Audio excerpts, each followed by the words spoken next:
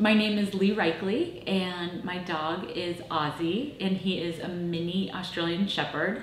He's about a year and a half years old now. I called Hillary, I think he was about seven or eight months old. I thought maybe he would be too old for the puppy program, but Hillary was so sweet and she said, bring him in.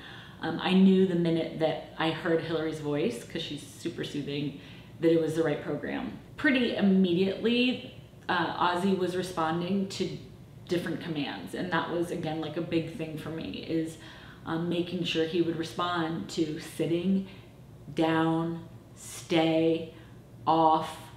And very shortly after he started, it, it was just clicking.